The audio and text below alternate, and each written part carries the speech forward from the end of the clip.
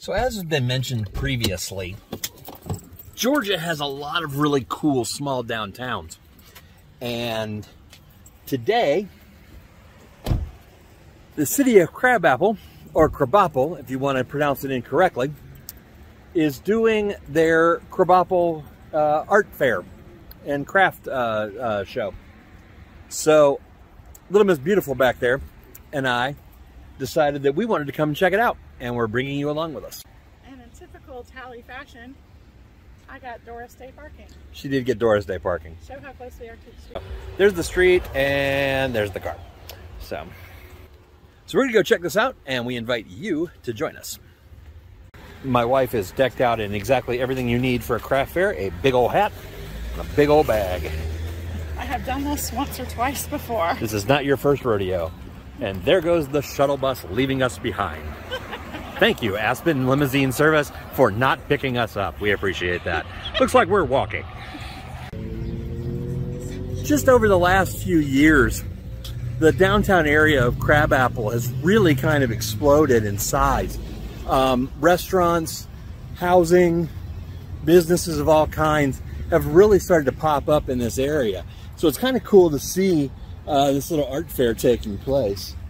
Yeah. My wife looking cute or what? She's just the most adorable. Thumbs up for my wife. That Oh, thank you, baby. So that wasn't bad, just a five minute walk from where we parked. And here's the entrance of the festival. And yeah. let's check it out. Welcome to Crabapple Fest. By the way, you can commit a crime of any sort in the rest of Milton today because all the cops are Right over there. right over there.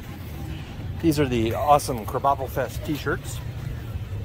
Very cool. And no, we're not encouraging you to commit any crimes of any kind. Have to put that disclosure.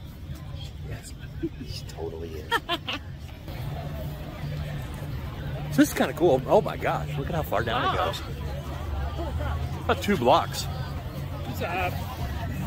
Look at Hi, how are you doing? Oh, they got Georgia Tech. Callie loves Georgia Tech. I am Kelly with Curb Happy, and we do all custom creations out of wood. Our Get your logo in there too. baby of our business is our Wood maps, which you just saw, but we also do some other fun stuff. Um, we can do cake toppers, and anything that we do, we can do custom. Um, we do earrings, which you can see the smiley faces are my favorite. Um, some trivets here, maps. Do custom house portraits. Nice. So as simple as just sending me a picture of your house. Awesome. And these are all laser cut, right? They are laser cut with a boss laser. That's amazing. And we saw you, our first time seeing you was last year. Yes. And since then, you guys kind of grown up. You've gotten uh, the Alpharetta Marriott, as I understand. Yeah. A little bit of action Yeah, there. we're in a couple of stores now. We just opened up our own booth at the Painted Tree Boutique, which is like a whole artisan market. So Yep, near our place. we're branching out. It's been really, really good. Well, cool. You do amazing work, and Thank it's so you. awesome getting to see y'all out here today. Thank you. so this wood laser cutting is of Metro Atlanta. So anybody that drives in our traffic can appreciate this. Which one's Peachtree? Sorry, which one's not Peachtree?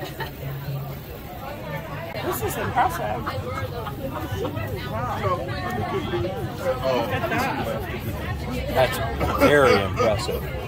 I'm so happy I found a gift. I'm wondering if these are hand uh, hand carved uh, handles. I bet they are. It's for one son knife design. So Oh yeah. That's wow. Of course, right next to the knives, you have coloring pillows. Well, that's kind of fun, Yeah. especially if you had somebody in the hospital or recovering and maybe was a little bored and also wanted to stay comfy. That a color, hint? Color your pillow. Cute idea. Hey, Tal. Yeah, baby. What kind of plumbing do you want? I want just adequate plumbing. You don't want above average plumbing? I would like above average. You know what I want? I want superior plumbing.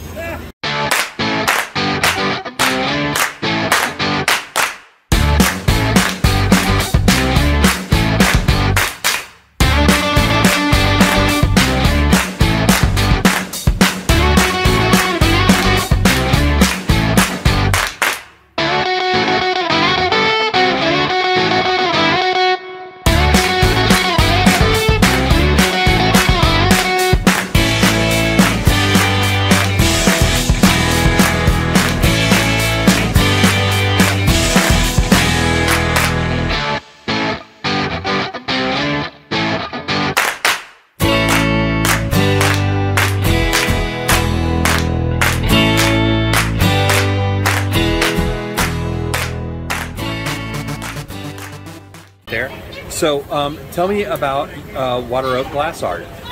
I am a stained glass artist. I've been doing stained glass for 21 years. Nice. I started doing fused glass jewelry about five years ago, and then the mosaics came about in the year of COVID. Everything seems to come about in the year of COVID. So. Um, what's your favorite things that, that, that you create? What's what's the item that you most Well, I'm enjoy? enjoying the mosaics now. I can get more definition, and it's more of a challenge. Um, you know, I've been doing stained glass 21 years. It's something so new, it's right? Something Yeah. new. It's a challenge. Yeah. Okay, cool, cool, They're beautiful pieces. Thank you. Yes, it's a light cube. That's my newest invention. Oh, cool.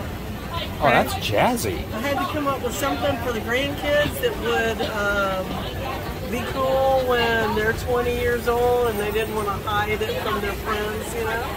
So it was kind of a thought on a bottle Me as a lamp Georgia Tech fan. or a beekeeper. Yeah. Yeah.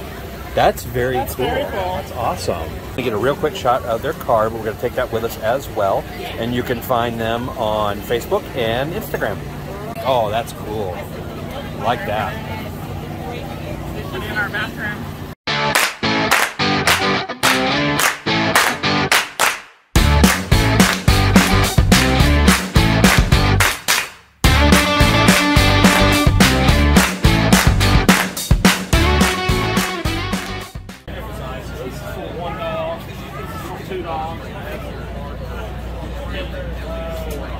Look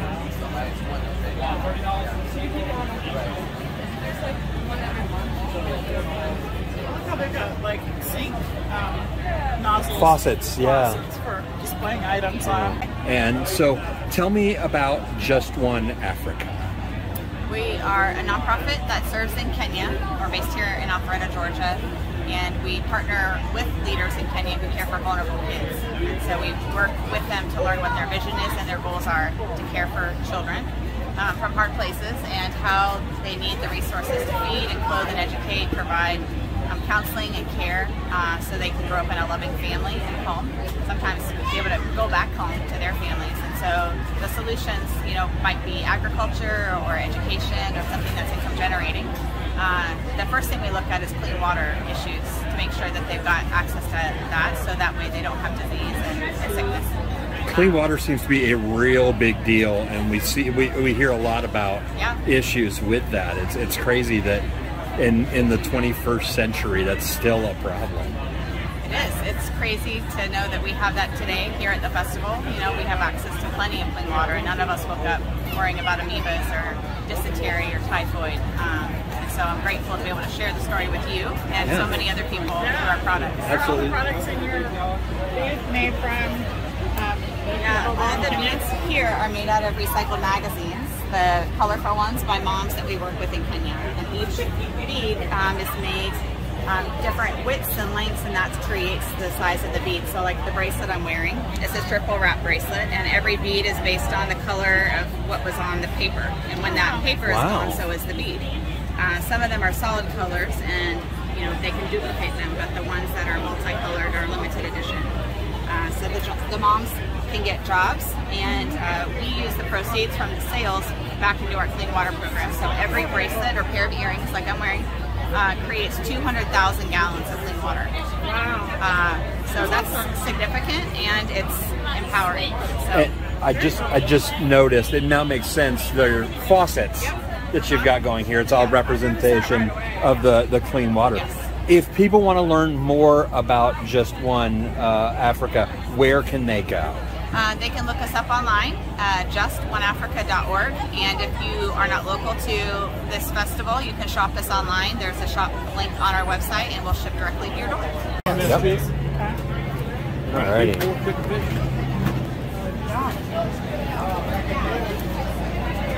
You liking it? What can you tell us about your product? Well, it's all natural, all low sodium, no MSG. All right, um, it's good on beef, pork, chicken, fish. Really, really good on any type of vegetables. Shaved corn, squash casserole.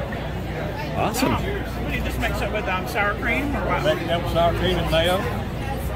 Then we do taste for the flavor. Really good.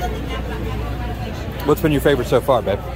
The first one, the three, First one? the three beer barbecue rub. I'm gonna get. I'm gonna try that one right now. Should. It's delicious. Take camera.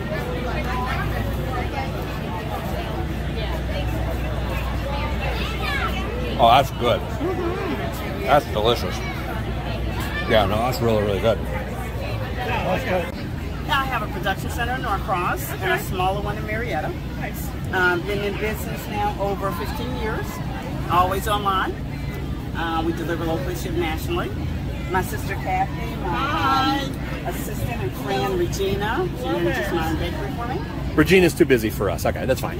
No, I'm. kidding. See what I have to deal with on a day-to-day basis, ladies? yeah, no more than usual. So this year we've done six farmers. We're doing six farmers markets a week.